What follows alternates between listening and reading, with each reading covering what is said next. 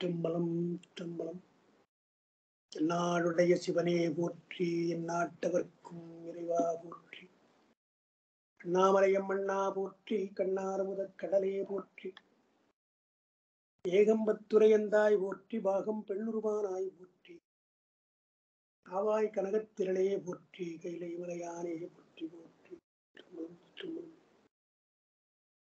எல்லாம் வல்ல எங்கள் ஏகம்பப் பெருமானுடைய திருவிடிகளை நான் மனமுரிமைகளால் வணங்கிக் கொள்கின்றேன் அன்வைக்கிடைய சிவனையச் செல்வர்களே உங்கள் அனைவருக்குரிய மனங்களிந்த வணக்கம்.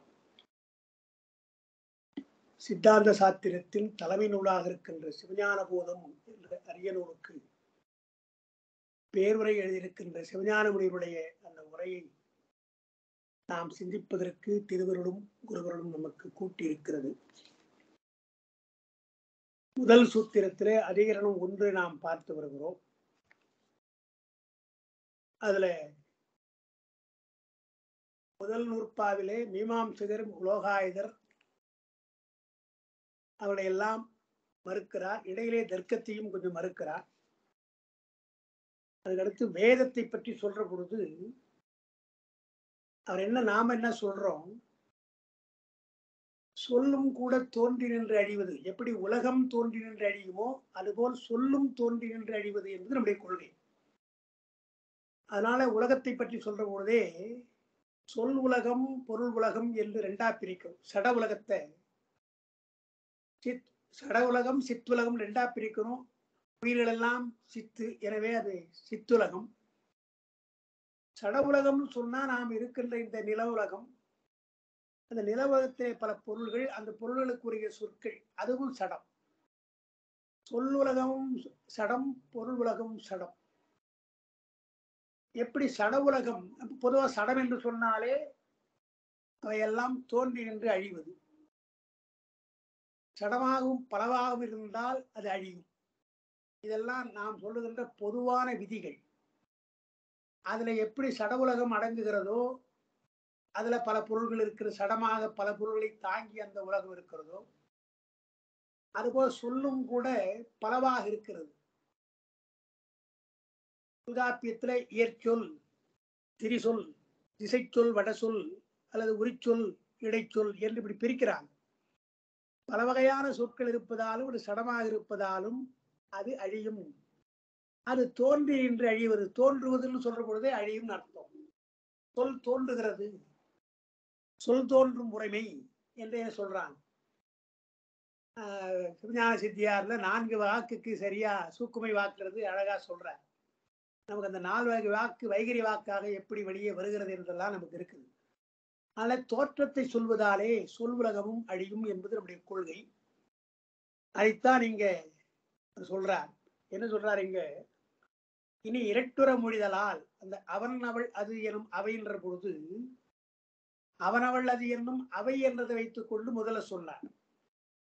அடுத்து அவன் அவள் அது என்ற அந்த தனியாக சொல்றார். அவன் அவள் என்பதனால் பெறப்படும் உயர்தினையும் அது என்பதால் பெறப்படும் அகிரணியும் என்னும் இரு இருதிணை பகுத்தாய சொற்பிரபஞ்சம். சொல்ல ஏன் அவன் ஏன் சொல்லணும் அவள் ஏன் சொல்லணும் அது ஏன் சொல்லணும்? என்றால் உலகத்துல உயர்திணை அகிரிணை என்று ரெண்டா இருக்கிறது. மக்கள் இருக்கிறார்கள் நன்னூல்ல மக்கள் தேவர் நரகர் உயர்திணை. தொல்காப்பியத்துல உயர்தனை தானே மக்கள்னு சொல்லிட்டார். மக்கள் சுட்டுனார் உயர்தனை தானே மக்கள் சுட்டு மக்கள் தான் உயர்தினார் அவர் தேவரை பற்றியோ நரகத்தை பற்றியோ அவர் கவலைப்படலை. ஆனா நன்னூல் ஆசிரியர் உயர்திணை என்றால் மக்கள் தேவர் நரகர்னு மூன்றா சொல்றார். அது இருக்கட்டும். அந்த மக்கள் தேவர் நரகர் உயர்தனைன்னு சொன்னா அப்போ சொற்கள் மாறுது இல்லையா? உயர்நிலைக்கு சொற்கள் வேறு அகிரணைக்கு சொற்கள் வேறுன்னு நாம பிரிக்கிறோம். இந்த அடிப்படையில் தான் நமக்கு ஆங்கிலத்துல இல்லை. அதாவது யூன்னு சொன்னா அது பெரியவங்களை குறிக்குதா? இல்ல சாதாரண மக்களை குறிக்குதா? என்று தெரியல. அது மாதிரி தேன்னு சொல்றோம். தேன்னு சொல்ற பொழுது அது உயர்தனையா அகிரணையா என்று நமக்கு தெரியல. இதெல்லாம் நமக்கு மொழியில இருக்கிற சிக்கல் அல்லது மொழி இன்னும் வளரவில்லை என்பதை காட்டுது ஆங்கிலமும் இன்டர்நேஷனல் லாங்குவேஜ் தான். அதில் இந்த மாதிரி கொஞ்சம் யோ இலக்கணமா கிராமட்டிக்கலா பார்த்தா கிரமேட்டிக்கல் ஸ்ட்ரக்சர் வந்து அது வந்து சரியா இல்லைன்னு நம்ம சொல்றோம். அது என்ன காரணம்? அது அவ்வளவுதான் பழவை நம்முடைய மொழி பழவையானது எனவே அதெல்லாம் யோசித்து பாருங்க நம்ம கூட முதல்ல அப்படி இல்லை. இருந்திருக்காது. அதனால வளர வளர இதெல்லாம் நம்ம செம்மை செய்ய வேண்டும் என்றுதான் செய்திருக்காங்க. எனவே உயர்தறிக்கு அஹ், என்று சொன்னால் அதுக்கு என்ன விகுதி? அகிரணை என்றால் என்ன விகுதின்னு சொல்றாங்க. அன் ஆள் அர் ஆர் பம்மார் என்றெல்லாம் தனித்தனியாக விதிகளை நாம சொல்றோம். இப்போ தெரிஞ்சுக்கிறதுக்காக சொல்றேன். எண் என்ப ஏன எழுத்தென்ப என்று வருது. என்பன்னு பா வருது அங்க. என்பன்னு பா வருது. அப்படி இல்லாம மொழி என படுவேன்னு வருதுன்னு வச்சுங்க படுவேன்னு வருதுன்னு வச்சுங்க படுவை என்று வா வந்தா பாவுக்கு பதிலாக வா வந்தா என்ன வித்தியாசம் என்றா வா இருந்தால் உயர்தனை வா இருந்தால் அகிரணை அத அந்த படுவேன்னு சொல்லக்கூடாது அது. சொற்கள் எனப்படுவ என்று வருது. அந்த படுப பான்னு சொன்னா அது உயர்தனையில் வந்துடும் வா என்று சொன்னால் அது அகிரணை நீ இதை இப்படி சொன்னதுனால தொல்காப்பியத்துல முதல் சூத்திரமே எப்படி இருக்குன்னு சொன்னா எழுத்தனப்படுவேன்னு தான் வருது. பாதான் வருதாங்க. எழுத்தனப்படுவ அப்படிதான் வருது. எழுத்து சடப்பொருள் தானே. அதை பட படுவன் தானே சொல்லணும். ஏன் படுகன்னு சொல்றாரு என்றால் எல்லாம் உரையில எழுதுறாங்க. என்ன எழுதுறாங்க? ஒளி நயம் நோக்கி இசை நோக்கி என்றார். ஒலி நயம் நோக்கி பா என்று சொன்னார். படுவேன்னு சொல்றதுனால படுவை நல்லா இருக்குது. எனவே ஒ- ஒலி நயத்திற்காக மொழி நயத்திற்காக சொன்னாரே தவிர அப்படி சொல்லக்கூடாது என்று தான் சொல்றேன் ஏன்னா படுவன் தானே வரணும் அப்படின்ற இந்த மாதிரி நுட்பமான இலக்கணங்கள் எல்லாம் நமக்கு மொழியில நம்முடைய மொழியில் இருக்கிறதுக்கு காரணம் ரொம்ப மிக பழமையான தொன்மையான மொழி. அதனால இங்க அவன் அவள் என்பது உயர்தனையை குறிக்கும் அது என்பது அகிலையை குறிக்கும். அப்போ ஒரு இரண்டு வகையா இருக்குது. அந்த சொல் பிரபஞ்சம். இங்கனம் அவயவ பகுப்புடவையாலும் அவயவ பகுப்பு உயர்தனை அகிரன் என்றே பிரிக்கலாம். அவயவ பகுப்புடவையாலும் சடமுமாய் பலவாகும் ஆதலாலும் காணலாலும். சடமாய் பலவாக இருக்கிறது. சுட்டி எறியப்படுகிறது மூன்று வகையா சொல்ற அவயவ பகுப்புடையது சடவுமாய் சடமாய் உள்ளது அது பலவாய் உள்ளது சுட்டி எறியப்படுகிறது அதனால் திதியின்பால் ஏன இரண்டும் காணப்படுதலாலே. சொல் திதி என்றது நிலையானது. அந்த நிலைப்பொருள் இருக்க- இருக்கிற பொழுது அது தோன்றி இருக்கும் பின்னால் அழியும் என்று காணப்படுதலாலும் தோன்றிருந்து அழிதல் உடைத்து எனவும் பொருள் உரைத்துக் கொள்க. இரட்டுற மொழிதலால் அவனவள் அது எனும் அவை என்றதை இப்படி இப்படி இரட்டுற மொழிந்து பொருள் வைத்துக் கொள்க என்று சொன்னார். அதுவரையில் தான் நாம் அவருக்கு நிறுத்தம் இனிமேற்பட்டு அற்றேல் அவர் தடை வருது. அற்றேல் வேதம் நித்தியம் என்னும் சுருதிகளோடு முரணும் பிறையனின். வேதம் நித்தியம்னு நாம சொல்லல. மீமாசர்கள் சொல்லுகிறார்கள். அதை சொல்றாரு. நாம் மீமாசனம் மறுத்திருக்கிறோம் இல்லையா? சொல் பிரபஞ்சம் எல்லாம் அனாதி அல்லவா? வேதம் நித்தியம். என்றால் புரணமோ என்றால் புறநாதுன்ட்டார் புறநாதுன்னு ஒரு வார்த்தை சொல்லிட்டார். வேதம் நித்தியம் என்ற சொல்லுக்கு புறநாது ஏன் என்றால் நித்தனாகிய பரமசிவனால் செய்யப்பட்டமையானும் இறுதி காலத்து பரமசிவனத்து ஒடுங்கிய வேதம் படைப்பு காலத்து முன்போலவே தோன்றுதலாலும் நித்தம் என்று உபசரித்து கூறப்படுமாகலின் சிவாகமங்களை நித்தம் என்பதும் இக்கருத்தே பற்றி என்க. அங்கனம் அல்ல அக்கால். வேதம் பரமசிவனால் செய்யப்பட்டது என்னும் சுருதிகளோடும் அட்டாதச வித்தைக்கு முதற்கருத்தாவாகிய சூலபாணி என்ற தொடக்கத்தில் புராண வசங்களோடும் ஈண்டு கூறும் வழியளவையோடும் முரணுமாறு அறிக. இந்த மறுப்பை என்ன அழகா சொல்றார்? அவங்க என்ன சொல்றாங்க? வேதம் அனாதி அபௌர்ஷேயம் ஒரு புருடனால் செய்யப்படாதது. அபௌருஷேயம்ன்றாங்க ஒரு புருஷனால் செய்யப்படாது ஒருவரால் செய்யப்படலன்ட்டாங்க அதுதான் இங்க மறுக்கிறாரு. நித்தனாகிய பரமசிவனால் செய்யப்பட்டதுன்னு ஒரு வார்த்தை சொல்றார். அவன்தான் நித்தன்.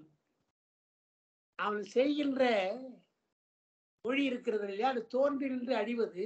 ஆனால் அதை நித்தம் நம்ம சொல்றோம். ஏன் சொல்றோன்றது இங்க சொல்றேன் நித்தனாய பரமசிவனால் செய்யப்பட்டவையானும் இறுதி காலத்து பரமசிவனத்து ஒடுங்கிய வேதம் படைப்பு காலத்து முன்போலவே தோன்றுதலாலும் நித்தம் என்று உபசரிக்கப்படும். அதை வேதத்தை சொன்னவரும் நித்தப்பொருள் அவர் நித்தன். தோன்றி அது ஒடுங்கி மீண்டும் தோன்றுது இல்லையா? எனவே அதனால அழியாதுன்னு சொல்றோம். அதனால அழியாது அந்த மாறுதல் இல்லை என்று சொல்லல. ஒரு மொழி மாறும் அல்லவா மாற்றம் இல்லை என்று சொல்லாதீங்க. நித்தம் என்றால் மாறக்கூடாது. மாற்றம் இருக்கக்கூடாது. அப்படி இல்லை. மொழி மாறுகிறது. நாம் பேசுற போதே கூட மொழி மாறுகிறது சொல்றோம். ஒரு தோன்றி பின்னாலே ஒடுங்கி மீண்டும் தோன்றுகிறது. எனவே மாறுதலுக்குரியதாக இருக்கிறது. ஆனால் நித்தமாகிய பரமசிவனால் செய்யப்படுவதாலும் அது தோன்றி நின்று ஒடுங்கி மீண்டும் தோன்றுவதாலும் நித்தம் என்று உபசரித்து கூறப்படுது உபச்சாரம் தான் ஒளி நித்தம் என்பது உபச்சாரம். நித்த பொருள் என்பது பெருமானை மட்டும்தான் சைவ சித்தாந்தம் நித்த பொருளா சொல்லும். ஆன்மா கூட அனாதி என்று சொன்னாலும் நித்தம்னு சொல்ல முடியல காரணம் அது தோன்றி நின்று அழிவது பிறந்து இறந்து அழிகிறது.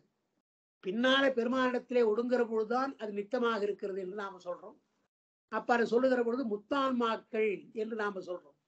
பெத்தான்மாக்கள் என்றால் பந்தத்திலே ஈடுபட்டிருக்கிற ஆன்மாக்கள் பிறந்து இறந்து பிறக்கும்.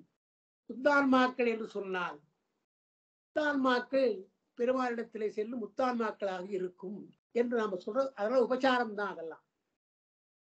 அதனால் சிவாகமங்களையும் இக்கருத்தையை பற்றி நாம் நித்தம் என்கிறோம் நாம் ஒத்துக்கிறோம். சிவாகமம் கூட தோன்றி நின்று அழிவதாயா? நீ வேதத்தை அப்படி சொல்ற தோன்றி நின்று அழியாதுன்னு சொல்ற. நாங்க சிவாகமத்தையே சொல்றோம். சிவாகமத்தை நித்தம் என்று சொல்வதற்கே அதான் காரணம். பெருமானிடத்திலே தோன்றியது பெருமானிடத்திலே தோன்றியது கொஞ்ச நாள் இருந்துவிட்டு ஒடுங்குகிறது மீண்டும் அதே மாதிரி தோன்றுகிறது. அந்த படைப்பு காலத்து முன்போலவே தோன்றுதலாலும் என்று ஒரு வார்த்தை சொல்றார். அதனால் அப்படி இல்லைன்னா இப்படி நீங்க கொள்ளவில்லை என்றால் வேதம் பரமசிவனால் செய்யப்பட்டது என்ற சுருதி சுருதின்னு தான் சொல்ற வேதங்களே சொல்லுது வேதம் பரமசிவனால் செய்யப்பட்டது என்று. அதுக்கு மா- அதுக்கு மாறா போயிடும். அப்புறம் புராணங்கள்ல சொல்ற பொழுது அட்டாதச வித்தை அட்டாதச வித்தை என்றால் பதினெட்டு வித்தை. தசம் என்றால் பத்து அட்டா அஷ்டம் என்றால் எட்டு. பதினெட்டு வித்தைக்கும் முதற்கருத்தாவாகிய சூலபாணி. பரமசிவனால் அங்க சொன்னார் இங்க சூலபாணின்னு அடையாளத்தை சொல்ற சூலபாணி என்ற தொடக்கத்து புராண வசங்களோடும் மூணாவது இன்று கூறும் வழியளவை வழியளவையோடும் அனுமானத்தினாலும் கூட அது உரடலாம் தோன்றி நின்று அழிவதெல்லாம் தோன்றியிருப்பதெல்லாம் அழியும் என்ற அனுமானம் இருக்கு இல்லையா? சடப்பொருளாக இருப்பதெல்லாம் அழியும் என்ற அனுமானம் நான் சொல்றேன் இல்லையா?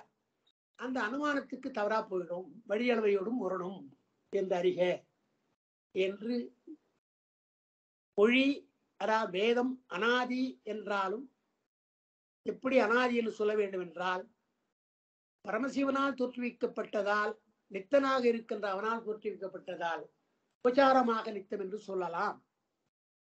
ஒருவரால் தோற்றுப்படவில்லை என்று சொல்லாதீங்க. அபௌருஷேயம் என்று நீங்க சொல்லக்கூடாது என்பதும் இந்த கருத்துங்க இருக்கிறது.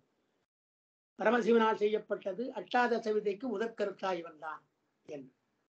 அதுவரையில் அந்த மீமாம்சகர் மறுப்புதான். அந்த ஒரு பகுதி மீமாம்சகரை மறுப்பது என்று வைத்துக்கொள்ளும் இனி வித்தை பதினெட்டுன்னு இல்லையா? அதை இங்கே சொல்லிடுற அட்டாதச வித்தைன்றதுனால அந்த வித்தையை இங்கே சொல்லிடுற வித்தை பதினெட்டாவன. ரிக்வேதம் முதலிய வேதம் நான்கும். புத்தகத்துல சிக்கைன்னு இருக்குது. தீட்சை என்பதை தீக்கைன்னு சொல்வது போல சிக்ஷை என்பதுதான் சிக்கைன்றார். சிக்ஷை அதுதான் தமிழ்ல சிக்கைன்னு வரும். தீட்சை தீட்சைன்றதுக்கு தீக்கைன்னு சொல்றோம் இல்லையா? அதே போல. சிக்கை சிக்கைன்னு அர்த்தம் கர்ப்பசூத்திரம் வியாகரணம் நிறுத்தம் சந்தோவிசிதி சோதிடம் என்னும் அங்கம் ஆறு. வேதாங்கம் ஆறுனர். அருமறை ஆரங்கம் வல்லான் என்று நமக்கு திருமுறைகள்ல வரும். அருமறை ஆரங்கம் என்று வருகின்ற இடங்கள் எல்லாம் அந்த அருமறை என்பது வடமொழி வேதம் வைத்துக்கணும். அறம்பொருள் நான்கு அறம்பொருள் இன்பம் வீடு சொல்ற மொழிந்தவாயான் என்று சொன்னால் அங்க தமிழ் ஆண்மறைன்னு வைத்துக்கணும். அந்த ரெண்டுக்கு வித்தியாசம். ஆரங்கத்தோடு சேர்த்து சொன்னால் அது வடமொழி வேதம். பொதுவாக அறம்பொருள் இன்பம் வீடு சொன்னான் பெருமான் என்று சொன்னால் அது தமிழ் ஆண்மறை இரண்டையும் சொல்லியிருக்கிறான். இரண்டையும் அவங்க சொல்லியிருக்கிறாங்க பார்க்க. அதனால வேதம் நான்கு சிக்கை கற்ப சூத்திரம் என்று சொல்லுகின்ற அந்த அங்கம் ஆறு வேதாங்கம் ஆறு. புராணம் நியாய நூல் மீமாம்சை விருதி என்னும் உபாங்கம் நான்கு. உபாங்கம் நான்கு ஆயுள் வேதம் வில்வேதம் வேதம் வேதம் அறுத்த நூல் என்னும் அறுத்த நூல் என்னும் இருக்கு முதலியவற்றிற்கு உபவேதம் நான்கும் என இவை. அறுத்த நூல் என்ற இவை உபவேதம் தான். உபாங்கம் உபவேதம். அப்ப பதினெட்டு வரும். வேதம் நான்கு. வேதாங்கம் ஆறு. உபாங்கம் நான்கு. உபவேதம் நான்கு என்று பதினெட்டு சொல்றார் இதுல எதெல்லாம் விளக்க போறார்? இப்ப இங்க சொல்லிட்டதே என்னென்னலாம் விளக்குறார்? வேதம் நான்கு. அந்த நான்கு வேதம் இருக்கு எதிர் சாமம் அதர்வனம் அதுலயே நமக்கு சிலவற்றை விளக்குறாருங்க அப்ப பதினெட்டு வித்தை என்றத வித்தைகள் பதினெட்டு. அஷ்டாதச வித்தை.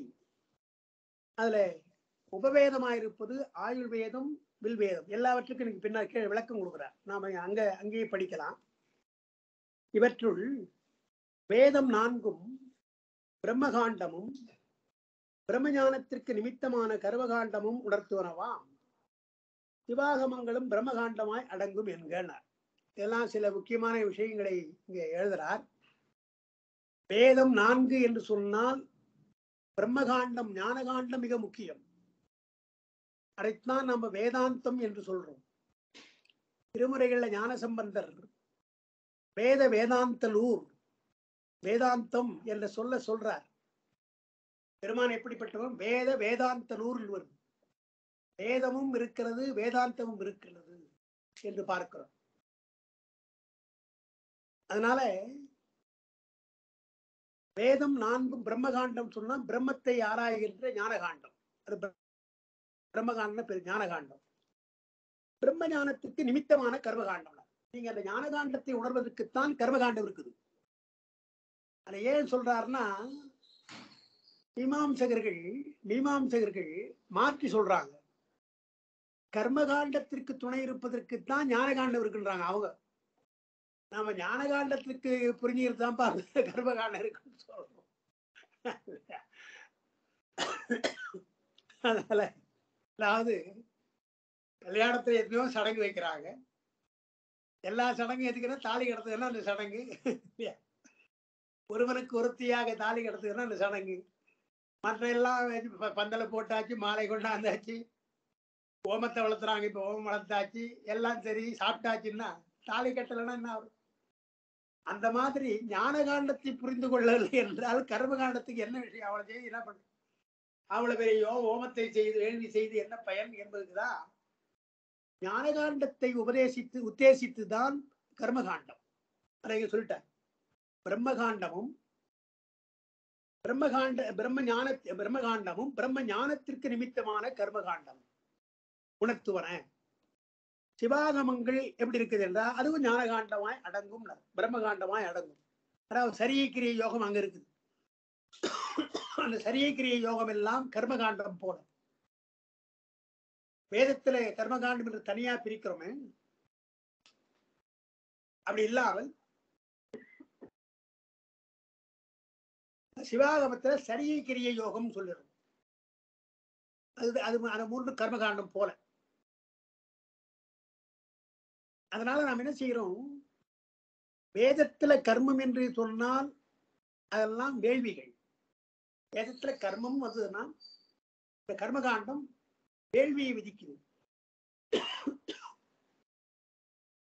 சிவாகமங்கள்ல சரியை கிரியை என்று சொன்னால் அது வழிபாட்டை குறிக்கும். தான் வேறுபாடு. வேதத்துல கர்மம் என்று சொன்னால் அது கர்மகாண்டம் சொன்னால் அது வேள்வியை குறிக்கும். சிவாகமங்கள்ல கர்மம் என்று சொன்னால் அது வழிபாட்டை குறிக்கும். அதனால் சிவாகமங்களும் பிரம்மகாண்டமாய் அடங்கும்னா என்ன அர்த்தம்? சிவாகமத்திலே ஞானகாண்டம் இருக்குது. அது இல்லாமல் வேதம் சொல்லுகின்ற கர்மகாண்டம் போல சரியை கிரிய யோகமா இருக்குது. அது எல்லாம் ஞானகாண்டத்தில் அடங்கிடும். சரியை என்றால் எதற்காக? அழகா பாடுறார் இல்லையா சாத்திரங்கள். கிரியை என மருவும் யாவும் ஞானம் கிடைத்தற்கு நிமித்தம். கிரியை என மருவும் யாவும் எல்லா செயல்களும். நாம் செய்கின்ற எல்லா செயல்களும் கிரியை என மருவும் யாவும். ஞானம் கிடைத்தற்கு நிமித்தம்ன்ற. அதனால இங்க சிவாகமங்களும் பிரம்மகாண்டமாய் அடங்கும் சரி. இனி அந்த வேதாங்கங்களை சொல்றார் ஆறு அங்கங்களை சொல்றார். வேதங்களை எடுத்தல் படுத்தல் முதலிய இசை வேறுபாட்டால் உச்சரிக்குமாறு உணர்த்துவது சிக்கை. எப்படி எடுத்து சொல்லணும்? அதாவதுன்னா உதாத்தம் அனுதாத்தம் ஸ்வரிதம் என்று அப்படி மூணா சொல்றாங்க. ஆரோகணம் அவரோகணம் வந்து தானே பாடுறாங்க பாட்டு. அதுபோல எடுத்து பாடுவது எப்படி இடக்கி பாடுவது எப்படி நாங்க இசையில கற்றுக் கொடுப்பது போல வேதத்தை இசை சொல்லுவது போல சொற்களை எப்படியெல்லாம் சொல்ல வேண்டும் என்று. எடுத்தல் படுத்தல் முதலிய இசை வேறுபாட்டால் உச்சரிக்கிறது சிக்கை. அப்ப என்ன ஆகுறது வேதங்களை எழுதி கொடுக்க முடியாது. உட்கார்ந்து கொண்டு அவங்க சொல்லுவாங்க கேட்கணும். கேட்டு கேட்டதை அறிவதால் தான் அதுக்கு ஸ்ருதி என்று பெயர். ஸ்ருதி என்றால் சுரு என்றால் கேட்டல். எனவே எழுத்தா இல்ல படிக்கல. அதான் அது எழுதா கிளவினே சொல்லிடுறாங்க. எழுதா கிளவியா இருக்கிற வேதத்தை கேட்டு கேட்டு எடுத்தல் படுத்தலோடு சொல்லுகிறார்கள். இந்த குழந்தைங்களுக்கு ரைம் சொல்லி கொடுக்குறாங்க இல்லையா? சின்ன குழந்தைங்களுக்கு அந்த ரைம்ஸோட நீங்க பார்க்கலாம். அங்கெல்லாம் நீங்க வேத பாடசாலைக்கு போனீங்கன்னா இந்த ரைம்ஸோட சொல்லி கொடுப்பதை பார்க்கலாம். அதெல்லாம். எடுத்தல் படுத்தல் முதலிய இசை வேறுபாட்டால் உச்சரிக்குமாறு உணர்த்துவது சிக்ஷை வேதங்களில் கூறும் கருமங்களை அனுஷ்டிக்கும் முறைமையை கூறுவது கர்ப்பசூத்திரம். நேற்று தான் திருமந்திரம் நடத்தணும். அதுல இந்த கற்பம்ன்றத பத்தி சொன்னேன். அதுல கற்பாந்தம்னு வருது. இந்த வள்ளி நெயிற்று போட்டிருக்கு பாருங்க வள்ளி நெயிற்று போட்டிருக்கு.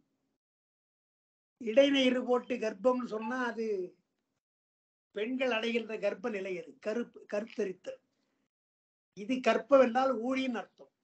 ஒழிக்கா ஊழிக்காலத்து பொதுவா கற்பம்லாம் இந்த இடத்துல கருமங்களை அனுஷ்டிக்கும் முறை கர்ப்ப சூத்திரம் ஒவ்வொரு காலத்திலும் மாறும். கர்மங்கள் மாறும். எனவே இந்த கர்ப்பத்திலே எப்படி என்று விதிப்பது? விதி. விதிக்கின்ற அந்த பகுதி தான் கற்பம். வேதங்களை எல்லாம் எப்படி செய்ய வேண்டும் என்று இந்த இதற்கு சோதிஷ்டோமம் செய்க இதற்கு சுரைக்கடம் தாபிக்க என்றெல்லாம் வரும். அந்த மாதிரி விதிப்படி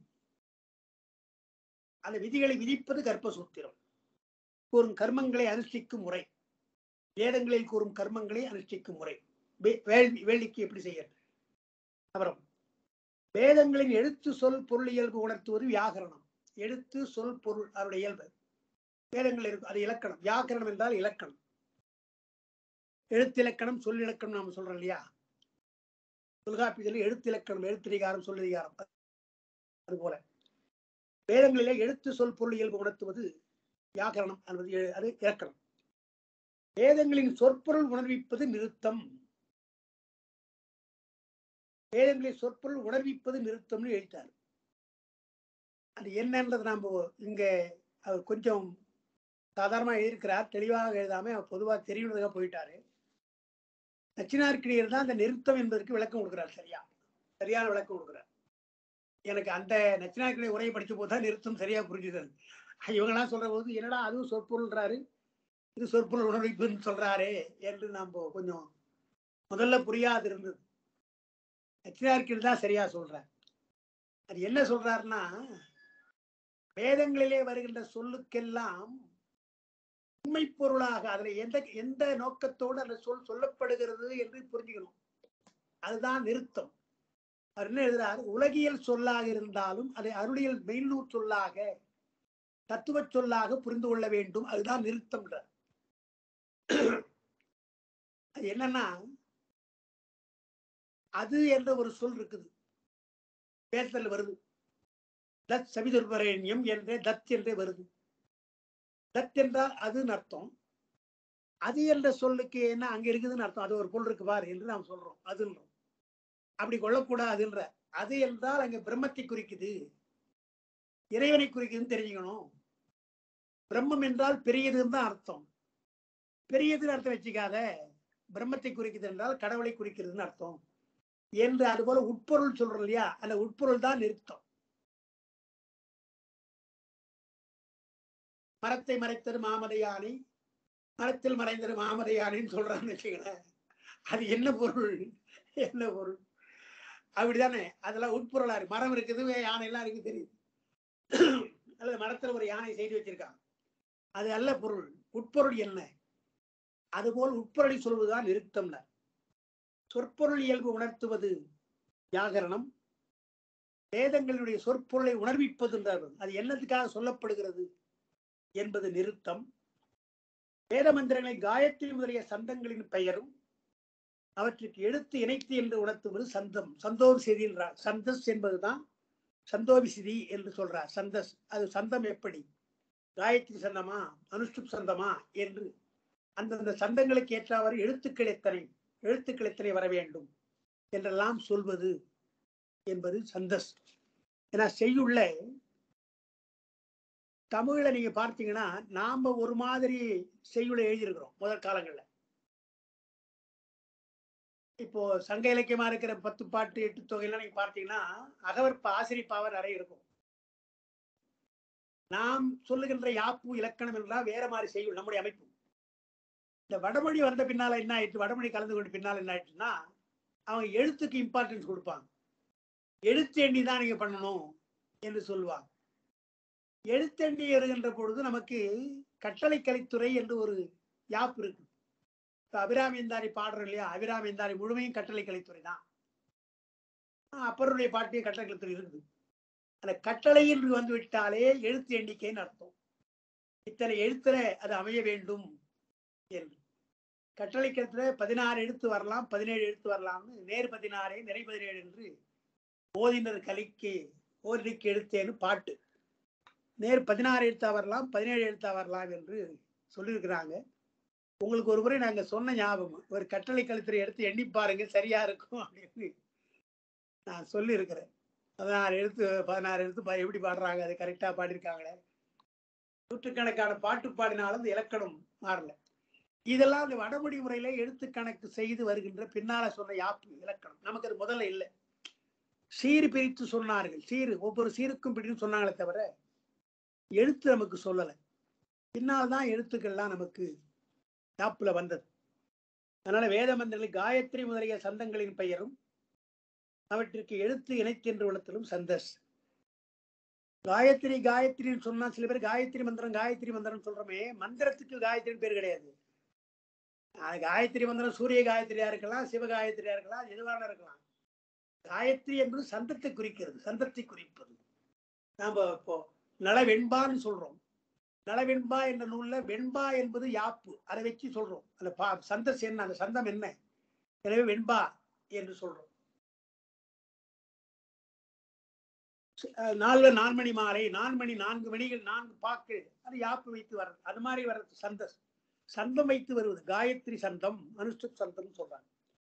வேத மந்திரங்களை காயத்ரி முதலிய சந்தங்களின் பெயரும் அவற்றுக்கு எழுத்து இணைத்து என்று உணர்த்தலும் சந்தோஷிதி அப்புறம் வேதத்தில் சொல்லப்படும் கருமங்கள் செய்தற்குரிய கால விசேடங்களை உணர்த்துவது ஜோதிடம். ஜோதிடம் என்றால் காலத்தை சொல்றது. நாம இன்னைக்கு ஜோதிடம்னா நல்ல காலம் இருக்குதா கெட்ட காலமா என்று நம்ம போய் அதை பார்க்கிறோம். பொதுவா ஜோதிடம்னா காலத்தை உணர்த்துகின்ற நூலுக்கு ஜோதிடம் என்று பெயர். ஜோதிஷ் ஜோதிஷ் என்று சொல்லுவாங்க. ஜோதிஷ்னு சொல்லுவாங்க. இங்கனமாதலால் இவை யாரும் வேதத்திற்கு அங்கம் எனப்பட்டன. அந்த கருமங்கள் செய்வது வேள்வி செய்கின்ற காலங்களை விதிக்கிறதுனால எல்லாம் அந்த வேள்வியோடு சம்பந்தப்பட்டு இருக்கின்ற ஒன்று. வேதத்தை எடுத்தல் படுத்தலாக சொல்ல வேண்டும். வேள்வியை செய்கின்ற அனுஷ்டிக்கின்ற முறை கற்பத்தை சொல்லுகிறது. எடுத்து சொல் பொருளை சொல்லுகின்றது. அது உட்பொருள் என்ன என்று சொல்லுகின்றது. சந்தஸ் என்ன என்று சொல்லுகிறது. அப்புறம் கால விசேடத்தை ஜோதிடம் சொல்கிறது எனவே வேதத்தோடு சம்பந்தப்பட்டதாலே இது அங்கம் வேதத்திற்கு அங்கம் எனப்பட்டன அப்படின்னு. இனி அங்க ஒரு அடுத்த பேரா முக்கியம்தான் பரமசிவன் உலகத்தை படைக்குமாறு முதலாயன கூறும் வேதவாக்கிய பொருள்களை வலியுறுத்தி வலியுறுத்தி விரித்துணர்த்துவது புராணம். இதிகாசமும் ஈண்டு அடங்கும். அந்த உபாங்கன் சொல்ற பொழுது புராணத்தை சொல்றார் இல்லையா? புராணம் எவ்வளவு முக்கியம் என்றால் வேத வாக்கிய பொருள்களை வலியுறுத்துவதற்குன்ற பரமசிவன் தான் உலகத்தை படைக்கிறான் சொல்ற வேதம் அதை உணர்த்துவதற்கு புராணம். வேத வாக்கியங்களை வலியுறுத்த என்றால் உறுதி செய்வதற்காக. அப்ப புராணத்தை நாம் புராணம் தலையிடக்கூடாது. வேத பொருள் அதுல இருக்கிறது. அது உட்ப உட்பொருளை கதையாக சொல்றாங்க. அதை வலியுறுத்த விரித்து உணர்த்துவது விரித்து வேதம் சுருக்கமா இருக்கும். இது விரித்து உணர்த்துவது என்று அவ பார்க்கிறோம் விரித்து உணர்த்துவதாலே அந்த புராணம்னா அப்புறம் என்ன சொல்றார்? இதிகாசமும் இதில் அடங்கும்ட்டார். இதிகாசம் தனியா சொல்ல வேணாம். புராணம் இதிகாசம் ரெண்டும் ஒண்ணுதான் என்று இதிகாசம் ஏறக்குறைய புராணம் போலதான் சொல்லிட்டார். எனவே புராணங்களை பதினெட்டா சொல்றாங்க இதிகாசம் ரெண்டா சொல்றாங்க வடமொழியில. அப்புறம் வேத பொருளை நிச்சயத்திற்கு அனுகூலமான பிரமாணம் முதலியவற்றை உணர்த்துவது நியாய நூல் இப்போ உலகம் தோற்றுவிக்கப்படுகிறது என்ற ஒரு உண்மையை சொல்ல வேண்டும் என்றால் அது என்ன பிரமாணம்? இந்த நியாய நூல் படிதான் சிவஞான பூரத்துல நூலை எழுதியிருக்கிறார். ஏன்னா பிரமாணம் வேணும் இலக்கணம் வேண்டும்னு வருவையா சொல்றார். அதெல்லாம் வந்து நியாய நூலுடைய அடிப்படை. அப்ப வேதப்பொருளை நிச்சயிப்பதற்கு இப்ப வேதப்பொருளை உலகம்லாம் இருக்கட்டும். ஒரு விஷயம் சொல்லுவாங்க. நமக்கு தெரிந்த விஷயத்தை சொல்வது வேதம் அல்ல வேதம் சொல்லக்கூடாது அதை. நமக்கு தெரியாத விஷயங்களை சொல்லுவதுதான் வேதம்னா. இப்ப நாம என்ன நினைக்கிறோம்? தெரியாத விஷயம் சொன்ன உடனே அடப்போட போயிடான்றான். தெரிஞ்ச விஷயம் சொன்ன பாரு வேதம் கூட சொல்லுது பாரு அப்படின்றோம் இல்லையா? தெரிந்த விஷயத்தை சொன்னால் அது அர்த்தவாதம் சொல்வாங்க. அர்த்தவாதம். தெரிந்த விஷயத்தை சொன்னார். தெரியாத விஷயங்களை சொன்னால் அதை வேதம் சொல்வார். அது வேதம் பெருமானால் செய்யப்படுவதாலே தெரியாத விஷயம் சொல்றதுனா வே- அதுதான் வேதம் வருது. இவ்வளவு கஷ்டப்பட்டு ஏன் அந்த கிளாஸ் வச்சுங்கிறோம்னா தெரியாத விஷயத்தை தெரிஞ்சுதான் வச்சுக்கிறோம். இது சார் இதெல்லாம் நான் படிச்சுடுறேன் சாரிங்க அப்புறம் மேல போங்க சார் சொல்லணும் இல்லையா? தெரியாத படிப்பை தானே வகுப்பு. தெரிஞ்சதை படிக்கிறது இருக்கு கிளாஸ் டியூஷன் இருக்கு. ஒரு மந்தமான பையனை ஏன் டியூஷன் அனுப்புறாங்க? கிளாஸ்ல பாடம் பள்ளிக்கூடத்துல படித்தா அவனுக்கு புரியல. ஸ்பெஷலா படிப்பு நடப்புறாங்க இல்லையா? அது போல தெரியாததை சொல்வதுதான் வேதம் தான் அப்ப என்ன சொல்றோம்? நம்முடைய அறிவுக்கு எட்டாததை வேதம் சொன்னால் ஏற்றுக்கொள்ளும். நமக்கு அறிவுக்கு எட்டவில்லை என்று விட்டுக்கூடாது அதைத்தான் ஆகம பிரமாணம் சொன்னான். பெரியவர்கள் நமக்கு எட்டாததை சொல்லுகிறார்கள். அப்போ நேராக பார்த்தால் எப்படி நான் நம்புகிறோமோ? அதே போல சான்றோர்கள் சொல்வதையும் அப்படியே ஏற்றுக்கணும் அதுதான் பிரமாணத்துக்கு உரியது அப்ப வேத பொருளை நிச்சயத்திற்கு அனுகூலமான பிரமாணம். அனுகூலம் என்றால் உதவி செய்யும் துணை.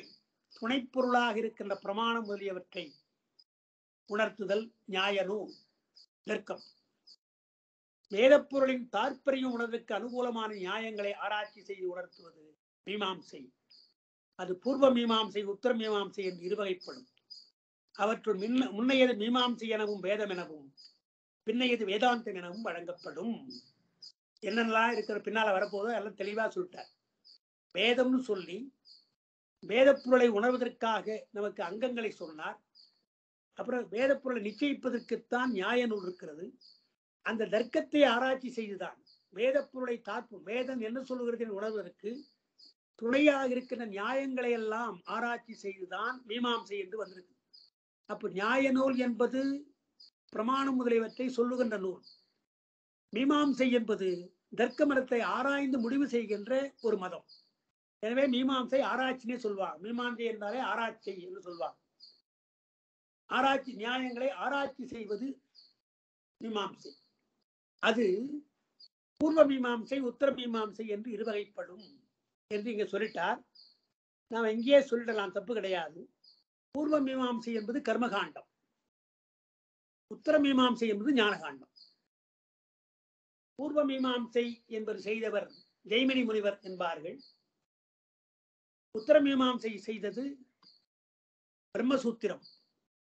அதை வியாசர் செய்தார் என்பார். உத்தர மீமாசை சொன்னாலும் சொல்லலாம். ஆஹ் என்ன? பிரம்மசூத்திரம் என்று சொன்னாலும் சொல்லலாம். பூர்வ மீமாம்சை என்று சொன்னாலும் சொல்லலாம். கர்மகாண்டம் என்று சொன்னாலும் சொல்லலாம். கர்மகாண்ட நூல். அது ஜெய்மினி முனிவர் செய்தார் என்று சொல்லலாம். அது மீமாம்சை நூல் ஜெய்மினி முனிவர் செய்தது.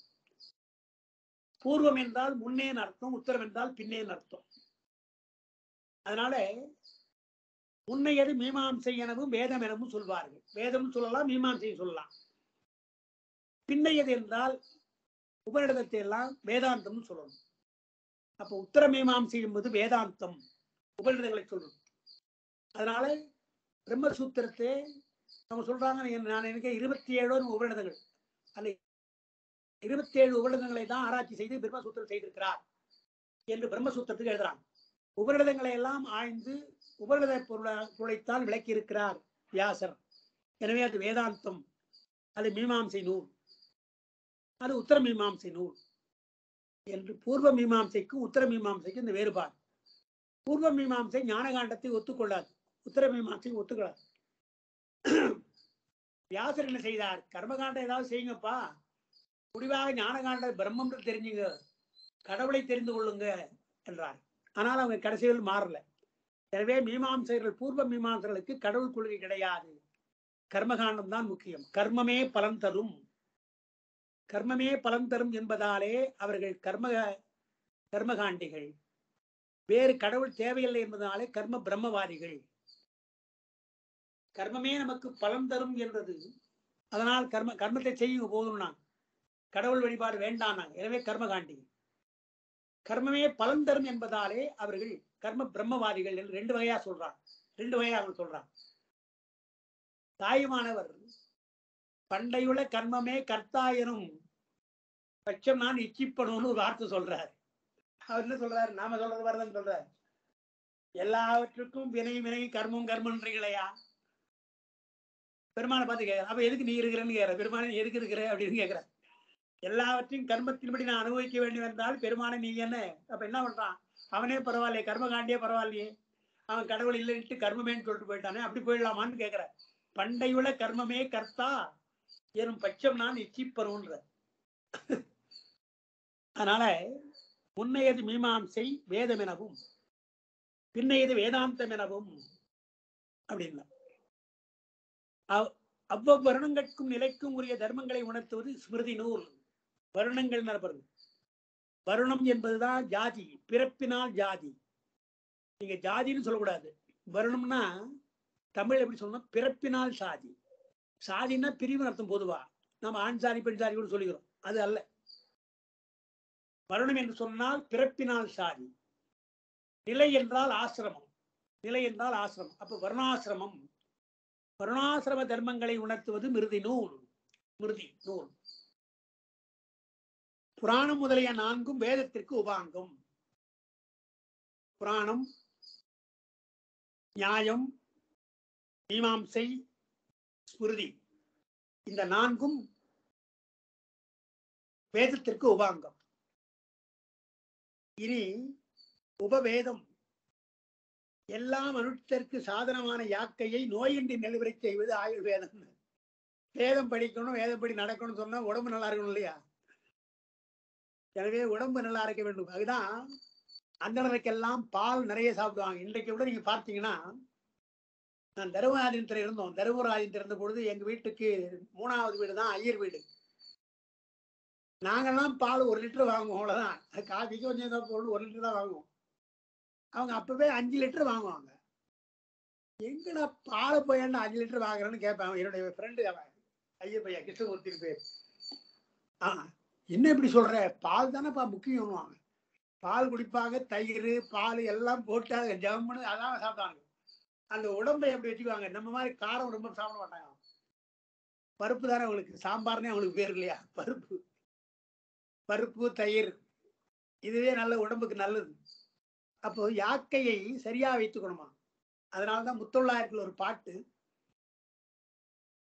சோழனுடைய பிறந்த நாளின் பொழுது சோழ அரசனுடைய பிறந்த நாளின் பொழுது அந்தணருக்கெல்லாம் என்ன தருகிறான் என்றால் அந்தணர் ஆவொடு பொன் பெற்றார். ஆனா பசுன்னு அர்த்தம். பசுவை காப்பாற்றுவதற்கும் மற்றதுக்கும் வாழ்க்கைக்காக பொண்ணை கொடுக்குறான். பசுவினாலே பால் தயிர் வேள்வி செய்வதற்கும் அவங்க சாப்பிட்றதுக்கும் பசுக்கள் உதவும். அதனால அங்க யாக்கையை நோயின்றி நிலைபெறச் செய்வது. ஒவ்வொரு சொல்லும் முக்கியமா சொல்ற யாக்கையை நிலைபெறச் செய்வதுன்னு சொல்லல. நிலைபெறச் செய்வதுன்னு சொன்னா நிலையில்லா அது உடம்பு தான் நிலையில்லாத அது எப்படி நிலைபெறச் செய்ய முடியும்? இருக்கிற வரையில் நிலையின்றி வச்சு நோயின்றி வச்சுக்கிட்டார் இருக்கின்ற வரையில் நோயின்றி நிலைபெறச் செய்ய வேண்டும். நோய் அங்க இருக்கக்கூடாது.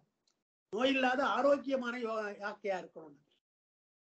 பகைவரால் நலிவின்றி உலகம் காத்திற்கு வேண்டப்படும் படைக்கலம் பயிரலை உணர்த்துவது வில்வேதம்.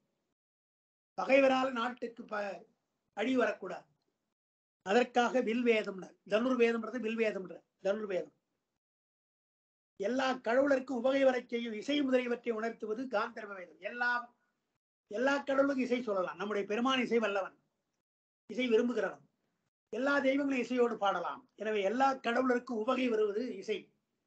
அது காந்தர்வம் காந்தர்வம் என்றால் இசை நடத்தும் இம்மைக்கும் மறுமைக்கும் ஏதுவாகிய பொருள்களை ஈட்டும் உபாயம் உணர்த்துவது அறுத்த நூல். அர்த்தவாதம் அறுத்த நூல் இருக்கு இல்லையா? இந்த அறுத்த நூல் என்பதுதான் நம்முடைய சாணக்கியர் சொல்ற அர்த்த சாஸ்திரம். அது அர்த்த சாஸ்திரம்னு சொல்றோம். சாணக்கியருடைய. அது இம்மைக்கும் மறுமைக்கும் ஏதுவாய பொருள்களை ஈட்டும் உபாயம். பொருள் எப்படி தேடுவது? வள்ளுவர் பொருட்பால் என்ற அதிகாரத்துல பொருள் செயல் வகைன்னு ஒண்ணு சொல்றாரு பாருங்க தனியா. பொருளை எப்படி சேர்க்கணும்? அது அது சொல்றது அது இம்மைக்கும் மறுமைக்கும் உதவும். அறம் பொருள் இன்பம் என்று சொல்ற பொழுது இன்பம் இம்மைக்கு மட்டும்தான். பொருள் இம்மைக்கும் மறுமைக்கும். அறம் இருக்கிறது அல்லவா அது இம்மை மறுமையோட வீடு வேற்றுக்கும் உதவும் என்று நம்ம சொல்றோம் இல்லையா? அதனால அதனால அறம் பொருள் இன்பம் அது வீட்டு வேற்று சொல்ற பொழுது அதனால்தான் முதல்ல அறத்தை வைத்தான் இம்மைக்கும் அது உதவும் அருமைக்கும் உதவும். பிறப்பு நீங்குவதற்கும் அதுதான் அறம்தான் உதவும். பொருள் என்றால் இம்மை மறுமை. தர தர்மம் செய்தால் அடுத்து உனக்கு அது புண்ணியமாக வரும். இன்பம் என்றால் இந்த பிறப்பு தான் இந்த பிறப்பு தான் அது அதுபோல இருப்பதையெல்லாம் சொல்ற பொருளை பொருளை ஈட்டுவது பொருள்களை ஈட்டு உபாயம் அது அறுத்த நூல். இவை நான்கு உபவேதம் எனப்படும் என்று உணர்க. என்று விரிவான விளக்கம் பதினெட்டு விதைக்கும் அழகாக சிவஞானமன் தந்திருக்கிறார். அதை நாம் நினைவு கொள்ளணும். பாம்பன் சுவாமிகள் தம்முடைய தகராலய ரகசியம் இருக்கு இல்லையா? அதை சொல்றார். முதலே ஆரம்பத்திலே அவர் சொல்ற ஒன்று. பதினெட்டு வித்தைகள் என்பது நம்ம சொல்றோம். ஆனா பதினாலு வித்தை தான் மகாபாரதத்துல பதினாலு வித்தை தான் சொல்லப்படுகிறது உபவேதம் சொல்லப்படல. பின்னால சைவ மகாபுராணம். சிவ மகாபுராணத்துல வாயு சங்கீதையில் தான் பதினெட்டு வித்தை என்று சொல்றாங்கன்னு எழுத இது மாதிரி இந்த அரிய கருத்தெல்லாம் அவர் புத்தகத்தை பார்க்கலாம். பதினான்கு வித்- பதினெட்டு வித்தைன்னு நான் சொல்லிட்டே வரோம். அந்த நூலை படிச்ச பின்னால் ஓஹோ மகாபாரதம் தான் பதினாலு வித்தை தான் சொல்லப்படுது. சிவமகாபுராணத்துல வாயு சங்கீதையில ஒரு நான்கு சேர்த்து உபவேதத்தை சேர்த்து பதினெட்டாக சொல்லப்படுகிறது என்று பதினெட்டு வித்தை என்று அவர் சொல்றார். அதையும் இங்க நாம நினைவைத்துக் கொள்ளணும். பதினான்கு வித்தைகள் மகாபாரதம் சொல்வது. வாயு சங்கீதை என்ற சிவமகாபுராணம் பதினெட்டு வித்தையாக சொல்வதாலே நாம் அதை பதினெட்டு என்று கொள்ளுகிறோம். பதினெட்டு வித்தைகள் சொல்றோம் என்று பார்க்கிறோம். பதினெட்டு புராணங்கள் என்று நாம பின்னால் தனியா வேற சொல்லப்போம் வடமொழியில புராணங்கள் என்றால் பதினெட்டுன்னு சொல்றோம். இதிகாசம் இரண்டு என்றும் புராணங்கள் பதினெட்டு என்றும் சொல்றோம் என்று பார்க்கிறோம். சரி. அதுல கொஞ்சம் நிறுத்துவோம். ஒரு ஐந்து மணித்துளிகள் நம்ம இடைவெளி கொள்வோம். மறுபடியும் படிக்கலாம். பெருமக்களே வணக்கம். இனி அந்த சூத்திரத்துல ஒன்றாம் சூத்திரம் முதல் அதிகரணம் முடிஞ்சது. இரண்டாவது அதிகரணம் என்று தொடங்கி அவர் என்ன சொல்றார்? பிரபஞ்சம் நித்தியம் என கொண்ட மீமாம்சை நூலாரையும் லோகாயரை மறுத்து சொல்லும் மறுத்து சொல்லும் பொருளும் என்று இருவகைப்பட்ட பிரபஞ்சம். உற்பத்தி திதி நாசமுடைத்து என கருத்தாவின் உண்மை சாதித்திற்கு ஓதிய ஏதுவை எதுக்களால் சாதித்த வழி. ஏதுவை எதுக்களால் சாதித்தான்றார் பெய்கண்டார் சொன்ன அந்த ஏது இருக்குது அந்த ஏதுக்கள் இன்னொரு ஏதுக்களை சொல்லி ஏதுவை எதுக்களால் சாதித்தார் அதுக்கு அந்த மீமாம்சகர் லோகாயுதர் அவர்கள் சொன்ன அந்த இரண்டு கருத்தை மறுக்கிறார். சொல்லும் பொருளும் என்று இருவகைப்பட்ட பிரபஞ்சமும் தோற்றமும் திரியும் நாசம் உடைத்து. அது கருத்தாவின் உண்மை என்றார். அது என்ன? ஒரு சொல் தோன்ற வேண்டும் என்றால் கர்த்தா வேண்டும். தானாக சொல் தோன்றாது. இப்ப நாம பேசினா தானே ஒரு சொல் என்று வரும். அவ சொல் தோன்றுவதற்கு அது காரிய பொருளாக வருவதற்கு ஒரு கருத்தா தேவை. அது அது சொல்லும் சடம். அதுபோல உலகம் என்பது சடப்பொருள் என்றால் தானே தோன்றாது என்பது அது ஏதாவது ஒரு அதுக்கு ஒரு காரணம் இருக்கணும். அந்த காரணத்தை தான் நம்ம பின்னால் இரண்டாம் சூத்திரம் சொல்ல போறோம். ஒரு பொருள் தோன்ற வேண்டும் என்றால் அதற்கு ஒரு முதற் காரணம் தேவை உதற்காரணம் தேவை. அதுக்கு நிமித்த காரணம் தான் அந்த காரணத்திலிருந்து காரியத்தை கொண்டு வருவான். அதற்கு ஒரு துணை அவனுக்கு தேவை. அப்போ முதற்காரணம் துணைக்காரணம் நிமித்த காரணம் என்ற மூன்றும் இன்றியமையாது. இதுல ஒன்று இல்லை என்றாலும் கூட பொருள் தோன்றாது. காரியம் இல்லை என்று பார்க்க. நாம் இந்த மூணு தான் சொல்றோம். இன்னும் ஆராய்ந்து பார்க்கிற பொழுது என்ன சொல்றாங்க? காலம் ஒரு காரணம். காலம் ஒரு காரணம் இங்க உதற்காலம் இருக்கலாம் துணை காரணம் நிமித்த எல்லாம் இருக்கலாம். காலம் இருக்கணும் இல்லையான்ற அது அப்பா சொல்லுவாங்க. ஒரு வீட்டுல திருமணத்திற்கு என்று ஒரு பெண் இருந்தா இப்ப பெண் இருக்கிறாலே கல்யாணம் ஆக வேண்டும் பொண்ணெல்லாம் சேர்ப்பாங்க. நகையெல்லாம் வாங்கி வைப்பாங்க. இந்த பொண்ணை படிக்க வச்சு ரெடியா வச்சிருப்பாங்க. கல்யாணத்துக்குள்ள பிக்சட் டெபாசிட் போட்டு வச்சு எல்லாம் ரெடியா இருக்கும். மாப்பிள்ளையை தேடுவாங்க. மாப்பிள்ளையும் கூட தெரிஞ்சு போகும். ஆனா ஏதோ ஒரு காரணத்தினாலே திருமணம் கொஞ்சம் தள்ளி போகும். அப்ப சொல்லுவாங்க எல்லாம் இருக்குதுங்க. இன்னும் நேரம் வரல. நேரம் வரல. அப்படின்னு. நேரம் வரல. அப்ப எல்லா காரணங்கள் இருந்தாலும் கூட காலம் என்று ஒன்று இருக்கு இல்லையா? அது ஒரு கா இதுன்னு சொல்லுவாங்க நமக்கு. சதமணி கோயில் அப்படி சொல்ற நினைவு காலத்தை சேர்த்து சொல்ற ஞாபகம். அதனால சொல்லும் பொருளும் ஆகிய பிரபஞ்சம் உற்பத்தி தீட்டி நாசம் உடைத்து என்று சொல்லி முடித்த பின்னால் பௌத்தர்கள் என்ன பண்றாங்க ஏ ஏது உண்டு சாத்தியம் இல்லை என பிணங்கும் புத்தர். ஏது காரணம் ஒன்னா இருக்கலாம் காரியம் இல்லைன்றான் சாத்தியம் கிடையாது. சாதனம் இருக்கலாம். ஆனா சாத்தியம் இல்லைன்ட்டான் ஏது உண்டு சாத்தியம் இல்லை என்றார். இப்போ உலகம் வந்து நாம் சாத்திய பொருள் சொல்றோம். ஏது உண்டு? அதுக்கு காரணம் உண்டு. ஆனால் காரியப்பொருளா இருக்கிற சாத்தியம் இல்லை என பிணங்கும் புத்தர். பிணங்கும் புத்தர் முதலியோரை மறுத்து பொது வகையாலும் சிறப்பு வகையாலும் கருத்தா உண்மை சாதித்திற்கு எழுந்தது இரண்டாம் அதிகரணம். அதிகரண இயைவும் இதனாலே விளங்குன்றார். அது இருக்கலாம். பொது வகையாலும் சிறப்பு வகையாலும் பௌத்தர் போன்றவர்கள் எல்லாம் இருக்கிறார். இனி என்றது அங்க இனின்னு முதல்ல ஆரம்பிச்சுவார் இல்லையா? இனி அவர் அந்த நெய்கண்டார் சொல்றது இனி என்றது அதிகரண இயல்பு உணர்த்துதல் பொருட்டு. முன்ன முதல் அதிகாரத்திற்கும் அதிகாரத்திற்கும் இரண்டாவது அதிகாரத்துக்கு என்ன தொடர்பு என்பதை இனி என்று சொல்றார். முன்வரும் அதிகாரங்கள் இது மாதிரி பின்னால் வர அதிகாரத்தை சொல்லணும்ன்றார். ஒரு அதிகாரத்துக்கு இன்னொரு அதிகாரம் அதிகரண இயல்பு என்று தோன்றும்ன்றார். முதல் அதிகரணத்துல அவர் சொல்ற பொழுது இங்க நீங்க பார்க்கணும். முதல் அதிகரணம் இந்த முதல் அதிகரணத்தால் கூறப்படும் பொருளாவது மேல் கருத்தாவின் உண்மை சாதித்தல் பொருட்டு உலகிற்கு முத்தொழில் உண்மையை சாதித்தல். அதுதான் முதல் அதிகரணத்தில் உள்ளது. முதல்ல கருத்தா உண்மையை சாதிக்கணும். அதுக்கு உலகத்துல முத்தொழில் உண்டுன்னு சொல்றத முதல் அதிகரணமா போயிட்டார் அந்த முதல் அதிகாரத்தெல்லாம் இவ்வளவு சொல்லி முடிச்சுட்டு இனி தோற்றம் மூவியனைன்னு சொன்னதுனால புத்தொழில் என்று சொன்னதுனால அது இல்லை என்றான் இல்லை என்பதை பொது வகையாலும் சிறப்பு வகையாலும் பௌத்தர்கள் மறுப்பதாலே அதை சொல்றார். இனி ஒடுங்கின சங்காரத்தின் அல்லது உற்பத்தி இல்லை என வரும் என்றது இல்லை. உற்பத்தி என்றால் ஒடுங்க ஒடுங்க வேண்டும். ஒடுங்குவது இங்கே என்றால் சங்காரம். யார் சங்கரிக்கிறார்களோ அவர்கள்தான் மீண்டும் தோற்றுவிக்க வேண்டும். நீதான் தொடங்கினாய் நீதான் முடிக்கணும். நீதான் முடித்தாய் நீதான் தொடங்கணும் என்பது போல ஒடுங்கின சங்காரத்தின் அல்லது உற்பத்தி இல்லை என்றதுன்றார். அது என்னன்றதை இங்க விளக்கிறார். சூத்திரத்தில் ஒடுங்கி என உலக வினைமேல் வைத்து ஓயினவையின் அதற்கேற்ப ஈண்டும் ஒடுக்கின என்ன ஒடுக்கின என்னாது?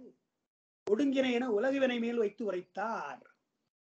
அது ஏன் சொல்றாருன்னா சூத்திரத்துல அவர்ணவள் அதிகம் தோற்றிய திதியே ஒடுங்கி ஒடுங்கின்னு ஒரு வார்த்தை இருக்கு இல்லையா? முதல் சூத்திரத்துல. அந்த ஒடுங்கி என்பது சாதாரணமா பார்த்தீங்கன்னா அது வினைச்சொல் அது வினை எச்சமா சொல்லணும். ஒடுங்கி நின்றது ஒடுங்கி போனது என்று சொல்லலாம். ஆனா அவர் என்ன பண்றார்? ஒடுங்கி என்பது பெயர் சொல்றார் ஒடுங்கி என்பது பெயர் சொல். அதாவது அப்படி சொற்கள் சில வரலாம். ஒடுங்கி என்பது ஒடுக்கத்தை செய்வதாலே அது ஒடுங்கி. போகத்தை தருவதாலே போகி என்று சொல்றோம் இல்லையா? வேகத்தை செய்வதாலே வேகி என்றோம் இல்லையா? யோகி. அந்த மாதிரி அந்த தொழிலை வைத்து வரலாம். ஒடுக்கத்தை செய்வதாலே ஒடுங்கி. அது ஒடுங்கின்றார் உலக விரைவியல் வைத்து ஓதியது. எது உலக ஒடுங்குதல் எது? உலகம்தான் ஒடுங்குது. எனவே உலகத்தை ஒடுக்குகிறான் என்று அங்க சொல்லிதான் அவனுக்கு ஒடுங்கின்னு பெயர் வந்தது. உலகத்தை ஒடுக்குகிறான். அது உலக வினைமேல்ன்ற உலகம் உலக விரைமையில என்ன அர்த்தம்? ஏதோ உலகமே தானே செய்வது போல என்ற உலக வினைன்ற அது அல்ல. அதற்கேற்ப இன்று என்ன சொல்ல ஒடுக்கினன்னு சொல்லியிருக்கணும் நியாயமா? ஒடுக்கின சங்காரம்னா அதான் ஒடுக்கிறதா அது. ஒடுங்கின சங்காரம் அல்ல. அது எங்க ஒடுங்குது? சங்காரத்தை செய்கிற அவன் ஒடுங்கல. உலகம் தான் ஒடுங்குது. ஒடுக்கிறேன்னு சொல்லணும். ஆனா அங்க ஒடுங்கின்னு சொன்னதுனால இங்கேயும் ஒடுங்கின்னு எழுதுறார் என்று ஆனா அதுக்கு என்ன அர்த்தம்னா ஒடுக்குதல்னு அர்த்தம். ஒடுங்கின உலக விரைவியல் வைத்து உரைத்தார். சங்கார கர்த்தாவை சங்காரம் என்று உபசரித்தார். அந்தம்னு சொல்றார் இல்லையா? சங்கார காரணம் அப்படின்னா. சங்காரம் என்று போயிட்டு. ஒடுங்கிய சங்காரம். இனி ஒடுங்கின சங்காரத்தின் நல்லதுன்றது இல்லையா? ஒடுங்கின என்பதற்கு என்ன அர்த்தம்? ஒடுக்கப்பட்ட உலகம் அர்த்தம். சங்காரம் என்று சொன்னால் சங்கரிக்கின்ற பெருமான் சங்கார கர்த்தா என்று அர்த்தம். சொல்லுல ஒடுங்கின சங்காரமா இருக்குது. சங்காரம் என்றால் அழித்தல் அர்த்தம். ஆனால் இங்க அழிக்கின்ற இறைவனை குறிக்கிறது க- சங்கார கருத்தாவை குறிக்கிறது சங்காரம் என்ற சொல் உபசரிப்பது. ஒடுங்கினை என்பது உலக வினையாக ஒடுக்கப்பட்ட வினை உலகத்தை குறிக்கிறது. அப்புறம் உற்பத்தி விட்டுருங்க. அல்லது இல்லை என எதிர்மறை முகத்தால் கூறினார். ஒடுங்கின சங்காரத்தின் உற்பத்தின்னு சொல்லியிருக்கலாம். ஒடுங்கிற சங்காரத்தில் உற்பத்தின்னு சொல்லியிருக்கலாம். அப்படி சொல்லாம ஒடுங்கிற சங்காரத்தின் அல்லது உற்பத்தி இல்லை. ரெண்டு சொல் சொல்ற. அதாவது காட்டு மொழி இல்லை என்றால் கண் காணாதுன்னு சொன்னார் இல்லையா பாயிரத்துல? காட்டு ஒளியால் கண் காணும் சொல்லாம காட்டு ஒளி படரின் அல்லதை மலதரை உலகத்து மாயிருள் சுமைய பலர்புகழ் ஞாயிறு படரின் நல்லதை காண்டல் செல்லா கண் அப்படின்னு சூரியன் தோன்றவில்லை என்றால் கண் பார்க்காது என்று அப்படி சொன்னார். சூரியன் தோன்றினால் கண் பார்க்கும் சொல்லாம இப்படி சொன்னார் இல்லையா? அதே போல இங்கேயும் ஒடுங்கின சங்காரத்தில் உற்பத்தி ஆகும் என்று சொல்லியிருக்கலாம். உற்பத்தின்னு சொல்லியிருக்கலாம். ஒடுங்கிற சங்காரத்தின் அல்லது உற்பத்தி இல்லைனர் அல்லது இல்லை என எதிர்மறை முகத்தால் கூறினார். என்ன காரணம்? ஏனை கடவுளில் செல்லாமை அறிவுறுத்தல் பொருட்டு. ஏனை கடவுள் பின்னால சொல்ல போறாங்க. படைக்கின்ற கடவுளே காக்கின்ற கடவுள் இதெல்லாம் சொல்லி அங்கேதான் ஒடுங்கும் உலகம் சொல்ல போறாங்க. அது இல்லை என்பதற்காக இங்கே சொல்றார். ஏனை கடவுளர் ஏனை கடவுளன்னா படைத்தலை செய்கின்றவர்கள் காக்கின்றதை செய்கின்றார்களே. அந்த கடவுளுக்கு செல்லாவை பொருட்டு அவர்களுக்கு இந்த ஒடுங்கு ஒடுக்க முடியாதுன்னு அர்த்தம். அவளெல்லாம் படைப்பார்கள் காப்பார்களே தவிர ஒடுக்க முடியாது. அதனால கடவுளை செல்லாமை அறிவுறுத்தல் பொருட்டு அற்றே அப்ப இங்க இந்த ஒடுங்கின சங்காரத்தின் உற்பத்தியில் இந்த அதிகாரம் சொல்றாரு ஒடுங்கினே என்பது உலகம் ஒடுங்கியது. சங்காரம் என்று சொன்னால் சங்கார காரணம் கர்த்தா. அவன் அல்லாது வேறு கடவுள் கிடையாது வேறு கடவுளுக்கு போகக்கூடாது. எனவே அல்லது இல்லை என்று எதிர்மறையால் சொல்லியிருக்கிறார். வேறு கடவுளுக்கு அது உடன்பாடு அது வந்து பொருந்தாது அற்றையில் உலகம் ஓரிடத்து ஒடுங்கி நின்று மீள உலதாம் என்றது என்னை. அந்த பாயிண்ட் எடுக்கிறான். அடுத்து. நீங்க ஒடுங்கி மீள தோணும்னு சொல்றீங்க. பாட்டுல எப்படி இருக்குது? தோற்றிய திதியே ஒடுங்கி உலதாம்னு வருது. மறுபடியும் உலதாம்னு வருது. நாம அங்க நுட்பமா சொல்லியிருக்கிறோம். ஏன் உளது? ஒடுங்குவது ஏன்? ஏன் உளது என்றால் மரத்து உளதா? மரத்தால் உளதுன்னு சொல்ல போறோம். மரம் என்ற ஆணவம் இருப்பதாலே மீண்டும் தோன்றுகிறோம் சொல்ல போறோம். அதை அவன் என்ன பண்றான்? அதை மறந்துடுறான். அதை விட்டுட்டு ஒடுங்கி உலதாம் தானே சொல்ற. அப்ப என்ன பண்றான்? உலகம் ஓரிடத்து ஒடுங்கி நின்று கீழே உலதாம் என்றது ஏன்? ஏன் மீள தோன்றணும்? அப்படின்னு சொல்றான் உள்ளதாயின் இப்ப நான் கூட நம்முடைய விருந்தினர் ரொம்ப நெருங்கிய நெருங்கிய நண்பர் அல்லது நெருங்கிய உறவினர் வீட்டுக்கு வந்திருப்பாங்க மெட்ராஸ்ல. அது நான் நீங்க சாயங்காலமே போகணுங்க அப்படின்னுவார். ஏன் போகணும்னு கேட்போம். இல்லை அங்கே ஒரு வேலை இருக்குது. அதை முடிச்சுட்டு நான் நம்ம ரெண்டு நாள் பொறுத்தீங்க வர ரெண்டு நாள் பொறுத்தீங்க தானே வரதானே போறீங்க? அதை எங்கேயா சொல்லுங்க. ஏன் அதுக்காக போய் வர போறீங்க. இங்கேயே இருங்க. என்று அவருடைய ஸ்டேவை கொஞ்சம் எக்ஸ்டெண்ட் பண்றோம் இல்லையா? வீணா போய் வர வேண்டாம். அதான் சொல்றான். உள்ளது என்று இருந்தால் ஒடுங்க வேண்டாம். ஒடுங்கினால் மீண்டும் தோன்ற வேண்டாம். உள்ளதாயின் உண்டாக வேண்டுவாதி வேண்டுவதில்லை. நீ உள்ளதுன்னா அது ஏன் உண்டாகணும் தோற்றம் கிடையாது. உள்ள பொருளுக்கு தோற்றமில்லை இல்லது உண்டாம். உள்ளது அழியும். எல்லாம் கம்ப்ளீட்டா மாற்றம். இல்லதுதான் உண்டாகும். இல்லாத பொருள் தான் தோன்றும். உள்ள பொருள் தோன்றாது உள்ளது அழியும்ட்டான். நாம் என்ன பண்றோம்? நேர்மாறா அதை அண்ட அதை கூட பண்ணலாம். அவனுடைய வாரத்துல இல்லது உண்டாம் உள்ளது அழியும். பௌத்தருடையது அசற்காரியவாதம் சொல்லுவாங்க அவங்க. இல்லது உண்டாம் உள்ளது அழியும்ன்றாங்க. முதல்ல என்ன சொல்றாங்க உள்ளதாயின் உண்டாக வேண்டுவதில்லை ஆதலால் இருக்கிறது ஏன் உண்டாகுன்னு சொல்ற இரு அதான் ஏற்கனவே இருக்குது. ஏற்கனவே இருக்கிற பொருளை உண்டாகுன்னு நான் முதல்ல. உலகம் அப்படியே இருக்குது. அழியா உண்டுன்னு சொல்றேன். அப்புறம் என்ன சொல்றான்? உண்டாகும். எது இல்லதுதான் உண்டாகும். உள்ளது அழியும் தான். அப்ப மீமாம்சலை காட்டி இவன் கொஞ்சம் எப்படின்னு சொன்னா உலகம் தோன்றி இருக்கிறது. உலகம் அழிய போகிறது. அதை ஒத்துக்கிறான். நாம சொல்ற மாதிரி ஒத்துக்கல. இல்லாத பொருளா இருந்ததாலே அது தோன்றியது. உண்மை கிடையாது. உலகம் உண்மை கிடையாது. எனவே இல்லாதமே இப்ப தோன்றியது. தோன்றிய பொருள் எல்லாம் அழியும். எனவே அழிய போகுது. அப்ப என்ன சொல்றா? இல்லது உண்டா? உள்ளது அழியும்னா. நாம் அப்படியே என்ன சொல்றோம்? இல்லது உண்டாகாது. உள்ளது அழியாது. இல்லது தோன்றாது. உள்ளது போகாது. இதான் நம்முடைய சர்க்காரியவாதம் இல்லது உண்டாம் உள்ளது அழியும் என்பது அசற்காரியவாதம். அசற்காரியவாதம் போட்டது அசற்காரியம். நாம சொல்றது சர்க்காரியம் இல்லது உள்ளது தோன்றும். உள்ளது போகாது. இல்லது தோன்றாது. இது நாம சொல்றது. இல்லவை தோன்றுங்கால் அப்புறம் அப்புறம் அவனுடைய கொள்கை. நாம முதலே ஒத்துக்கல அதையே ஒத்துக்கல. இல்லறது உண்டா உள்ளது அழிகிறதையும் நம்ம மறுக்க போறோம்.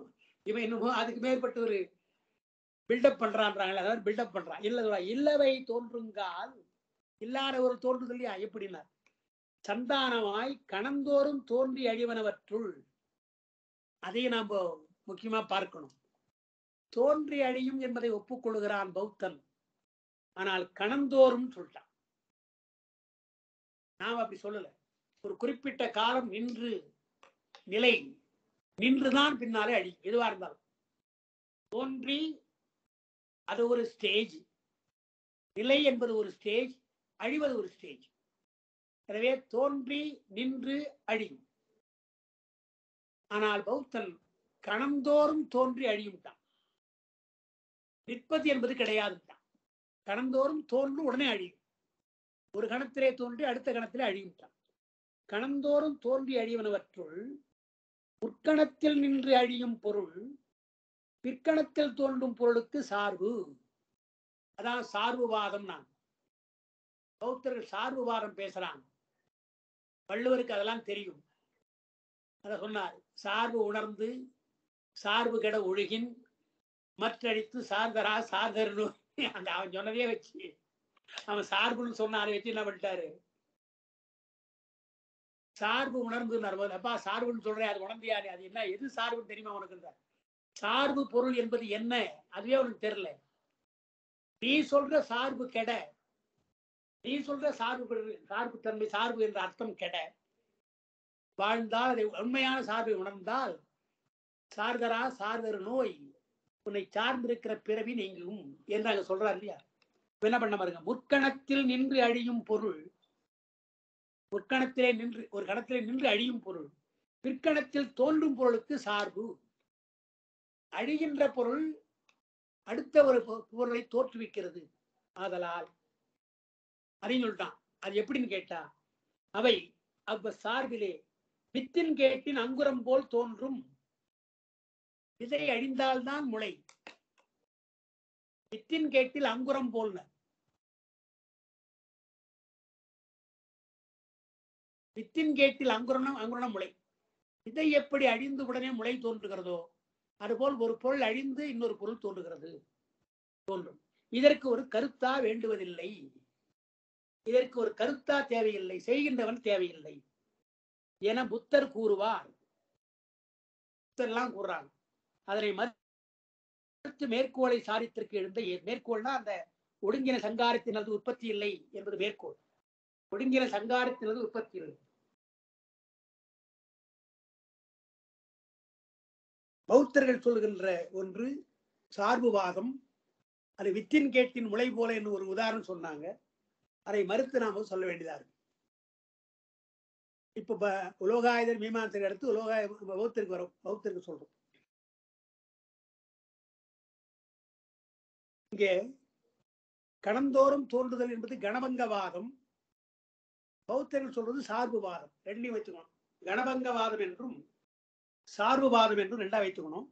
அசர்க்காரியவாதம் சொல்லுகிறார்கள் அதையும் சொல்லுகணும் பௌத்தருடைய பார்வையிலே அசர்க்காரியவாதம் கணபங்கவாதம் சார்புவாதம். ஒன்று அழிய இன்னொன்று தோன்றும் அது கணந்தோறுன்ற எனவே கணபங்கவாதம் ஒரு ஒரு பொருளுடைய சார்பிலே இன்னொரு பொருள் தோன்றும் அது சார்புவாதம். சரி. இனி அதுக்கு நம்ம விளக்கம் கொடுக்குறோம் இல்லதற்கு தோற்றமின்மையின் அதான் சர்க்காரியவாதம் நாம் சொல்றோம். அதான் ஏகம். மேற்கோளை சாதிப்பதற்கு எழுந்தது.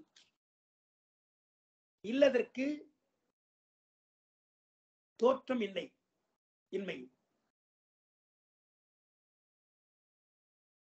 அற்றேல் உள்ளதற்கு உண்டாக வேண்டுவது என்ன என்ற தொடக்கத்து ஆசங்கைகளை நீக்கி ஏதுவை வலியுறுத்துவதற்கு எடுத்துக்காட்டும் உதாரணம் அப்படின்றார். உங்களுக்கு அந்த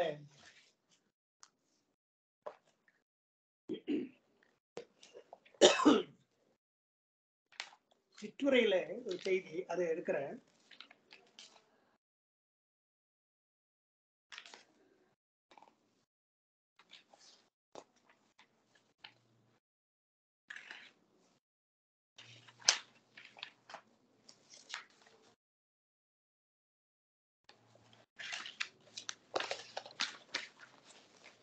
அந்த லயித்த தன்னில் லயித்ததுன்னு இருக்கு இல்லையா? அது முழு வெண்பாது. அந்த முழு வெண்பாவை பாதி பாதியா தான் போட்டுப்பாங்க. சிற்றுரையில அப்படிதான் போட்டிருக்காங்க. பேருரையில அப்படிதான் வரும். என்ன சொல்றாரு? உள்ளதற்கு உண்டாக வேண்டுவது என்னை? அவன் கேட்கிறான் அதான் இருக்கிறப்பா ஏன் தோன்றணும்னு கேட்கிறான் ஒரு பொருள் தான் இருக்கிற உள்ளது. அதை ஏன் தோன்றணும்னு சொல்ற நீ? என்ற அந்த ஐயம் இருக்கு இல்லையா? அதை நீக்கணும். அதை நீக்குவதற்குத்தான் ஒரு உதாரணம் சொல்றார். அந்த வெண்பாவை கொஞ்சம் பாருங்க. லைத்தது லைத்த தன்னில் லைத்ததாம். அத்தா லைத்தவாறு உளதா வேண்டும்னு இருக்கு.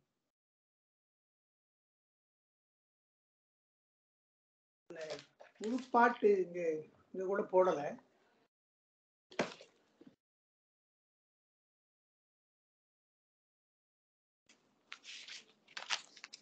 இங்க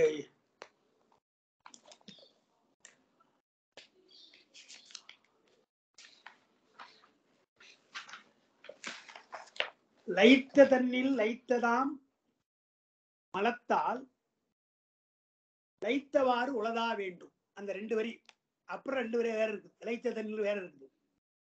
முதல்ல லைத்த தன்னில் லைத்ததான்றார் அது சர்க்காரிய வாரத்தை சொல்றது. என்ன சொல்றா? எந்த பொருளா இருந்தாலும் அது செயற்படு பொருள்.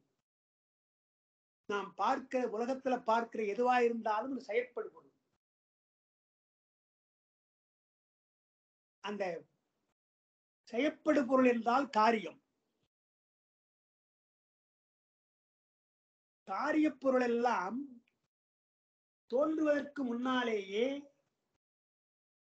உள்ளன. காரியப்பொருள் நமக்கு தோன்றுவதற்கு முன்னாலேயே உள்ளதுன்றோம் அதுதான் சர்க்காரியவாதம் என்று நாம சொல்றோம்.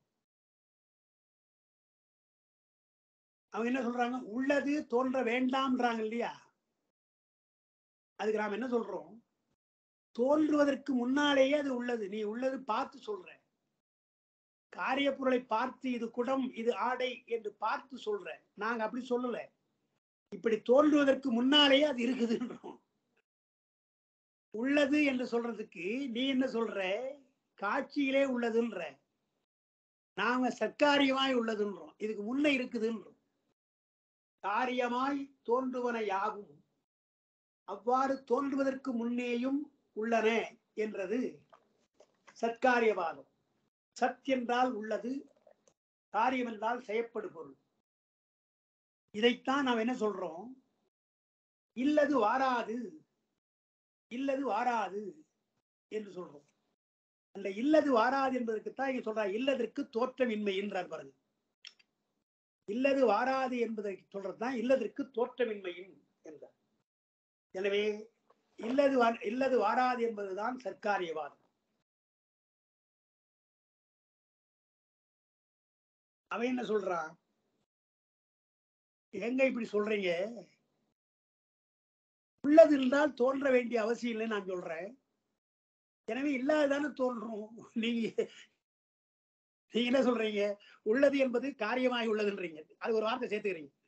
காரியமாய் உள்ளது எனவே அதுக்கு காரணமாக ஒண்ணு இருக்குது. அதுக்கு முன்ன ஒரு உண்டு உண்டுன்னு சொல்றீங்க. அதாவது நேரா இருக்கிறத பார்த்து சொல்லாம இதுக்கு முன்ன இருக்கிறத ஏன் சொல்றீங்க நீங்க? இருக்கிறத ஏன் சொல்றீங்க? இல்லது உள்ளது தோன்ற வேண்டாம் அங்கதான் நாங்க அங்கதான் நிக்கிறோம். நீங்க இது உள்ளதுதான் ஆனா இது காரியமாய் உள்ளது. செய்யப்படு பொருள். இதுக்கு முன்ன ஒண்ணு இருக்குதுன்னு சொல்றோம். இப்ப ரெண்டுமே சரிதான். அவன் என்ன சொல்றான்? உள்ள பொருள்னு சொல்றான். நாம என்ன பண்றோம்? காரியமாய் உள்ளதுன்றோம். செய்யப்படு பொருளா அதுதான் உறுதி பண்றான் பொருளை செய்யப்படு பொருள் என்று சொன்னால் உடனே செய்பவன் யாருன்னு ஒரு கேள்வி வந்துடும் அதனால அதை ஒத்துக்க மாட்டான். இப்ப பகுத்தறிவாளர் என்ன பண்றாங்க? இயற்கைன்னுறாங்க. ஒரு வார்த்தையை வச்சுக்கிறாங்க. அது இயற்கைங்க அது நேச்சருங்க அப்படின்றான். நாம சார் காற்று அடிப்பது நேச்சர் தான். ஏன் ஒரு சமயத்தில் தென்றலா இருக்குது? ஏன் ஒரு சமயம் புயலா இருக்குது? காற்று ஒரே மாதிரி அடிக்க வேண்டியது தானே? காற்று வராமே விட போடுது காற்றே வரலன்றீங்களே? அதுதான் இயற்கைன்னு சொல்ல முடியாது. அப்ப இயற்கை எவ்வளவு மாறுபாடு இருக்குது? மந்த மாறுதும் இருக்கிறது சண்டை மாறுதும் இருக்குது. காற்றே இல்லாம இருக்குது இல்லையா? எனவே இயற்கை என்று சொல்லாதீங்க.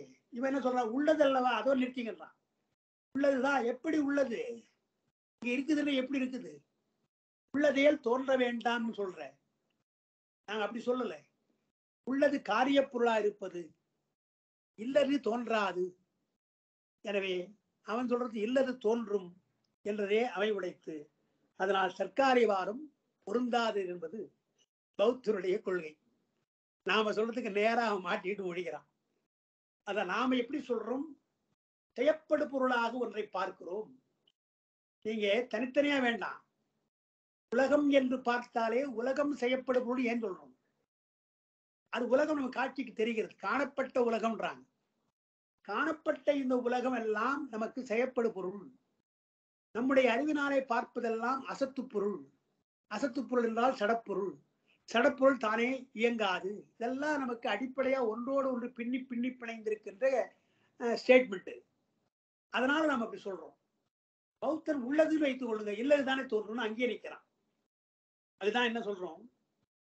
லைத்த தண்ணில் பாட்டு இல்லையா? லைத்தது. அந்த பாட்டை லைத்த தண்ணில் லைத்ததாம் அத்தால் இருக்கு இல்லையா? மலத்தால் இருக்கு இல்லையா? அது என்ன பண்ணணும்? லைத்தது என்று பிரிக்கணும் முதல்ல. லைத்தது. லைத்த தண்ணில் ஆம். லைத்தது லைத்த தண்ணில் ஆம். அந்த பாட்டில் லைத்தது லை- லைத்த தண்ணில் லைத்தது ஆம்னு பிரிச்சு பாட்டு அப்படி மாறி இருக்குது.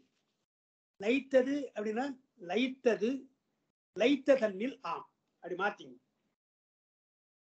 லயித்த தன்னில் லைத்தது ஆம். லயித்தது என்றால் ஒடுங்கியதுன்னு அர்த்தம். ஒடுங்கிய உலகம் மீளத் தோன்றும் பொழுது எங்கே ஒடுங்கியதோ அங்கிருந்துதான் தோன்றும். லைத்தது லைத்த தன்னில் ஆம். எங்கே தன்னில்னா லைத்த இடம் இருக்கு இல்லையா ஒரு இடம். அந்த இடம் எது என்றால் நாம் சங்கார காரணம் சொல்றோம். சங்கார காரணத்திலிருந்து தோன்றும். லைத்தது லைத்த தண்ணீர் ஆம். அது முதல் அந்த வெண்பாவை அப்படி பிரிச்செல்லாம் புரியும். லைத்தது லைத்த தண்ணீர் ஆம். அப்புறம் என்ன கேறான் ஒடுங்கிய உலகம் ஏன் மேல தோன்ற வேண்டும்? மீளத் தோன்றுவதான் கட்டாயம் மேல தோன்ற வேண்டும் என்றால் இப்போ இருக்கலாம் என்றான் ஒடுங்காம இருக்கலாம். ஒடுங்கேறியன் மீள தோன்றணும். இல்லை சார் மீள தோன்ற வேண்டும்னு சொன்னீங்கன்னா கட்டாயம் தான் சொன்னீங்கன்னா ஏன் ஒடுங்கணும்? ஏன் ஒடுங்கணும்னு கேட்கும் ஒடுங்கியது ஒடுங்கியே போக வேண்டும். மீள தோன்ற வேண்டாம். இல்ல மீள தோன்றுவதுதான் இன்றிமையாது என்று சொன்னால் ஒடுங்க வேண்டாம் என்று அவன் கொள்கை. அதுதான் நாம் என்ன சொல்றோம்? மலத்தால். அந்த பாட்டில் இருக்க பாருங்க. மலத்தால். மலத்தால் என்று சொல்றோம். ரெண்டு மலம் கர்ம மலம் ஆணவ மலம். அங்க மலத்தால் சொல்ற பொழுது மலத்தால் உள்ளதாம் இல்லையா அங்க? தோற்றிய திதியே ஒடுங்கி மலத்துள்ளதாம் இல்லையா? மலத்தால் உள்ளதாம் மலத்து மலத்தால் என்றால் கர்ம மலம் பரிபக்குவம் அடைய வேண்டும். அதனால் உலகம் ஒடுங்கும். ஆணவ மலம் பரிபக்குவம் அடைய வேண்டும். மாணவ வளம் பரிபக்குவம் அடையணும். அதுக்கு உலகம் மீளத் தோன்றும். ரெண்டு கருத்து சைவ சித்தாந்தம் சொல்றது. கண்மமலம் பரிபக்குவம் அடையும். அதற்காக உலகம் ஓடும். கண்மமலம் பக்குவம் அடையது என்ன என்றால் சஞ்சித கர்மம் நாம் செய்திருக்கிற சஞ்சித கர்மம் பிராரத்தமாக வருகின்ற அந்த ஸ்டேஜ் வரணும். பிக்சட் டெபாசிட்ல போட்டு நாம தான் போட்டிருக்கோம் பணம். போய் கேட்டா சார் இன்னும் ஒரு மாதம் இருக்கு சார் மெச்சூரிட்டிக்குன்றான் ட்ரா பண்ண முடியாது. ட்ரா பண்ணுங்க. வட்டியெல்லாம் கொடுக்க மாட்டோம். அந்த ஒரு மாதம் இருந்தா என்னவோ அதை சேர்த்து கொடுப்பேன்றான் இல்லையா? அப்ப நாம் செய்த ஒரு டெபாசிட் மெச்சூரிட்டி ஆகணும் இல்லையா? மெச்சூர் ஆகணும் இல்லையா? அதுபோல நாம் செய்த சஞ்சிதம் மெச்சூர் ஆகும். அதான் பிரார்த்தமா வர்றது. கர்மமலம் பரிபக்குவம் அடைதல் என்றால் சஞ்சித கர்மம் பக்குவம் பெற்று நமக்கு பயனாக பிராரத்தமாக நல்வினை தீவினையாக வரணும். அதற்காக ஒடுங்குகின்றது. ஏன் தோன்றுகிறது? ஆணவமலம் பக்குவம் பெற என்றால் பரு பரிபக்குவம் அர்த்தம். அங்க கண்மமலம் பக்குவம் என்றால் என்ன அர்த்தம்? சஞ்சிதம் பிராரத்தமா வர்ற பக்குவம். இங்க ஆணவம் பரிபக்குவம்னா என்ன அர்த்தம்? நீங்குதல்னு அர்த்தம். ஆணவம் நீங்குதல். பரிபக்குவம் என்பது நீங்கும் நிலை. நீங்கும் நிலை அடைந்த பொருட்டு உலகம் தோன்றும். உலகம் மீளத் தோன்றும். உலகம் ஏன் தோன்ற வேண்டும் என்பதற்கு இந்த விடுதியை நாம் சொல்லட்டும். கண்மமலம் பரிபக்குவம் பெறுவதற்காக என்றால் நமக்கு பயனாக வருவதற்காக உலகம் ஒடுங்குகிறது.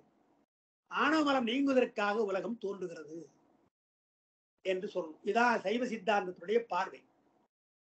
அவன் என்ன சொல்றான்?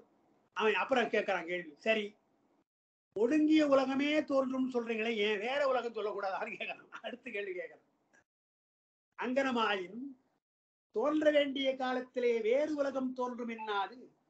முன்பு ஒடுங்கிய உலகமே மீளத் தோன்றும் என்று சொல்றீங்களா? அதுக்கு பிரமாணம் என்னன்னு கேட்கிறான் முன்ன தோன்றியதான் அப்படியே வருன்றீங்களே.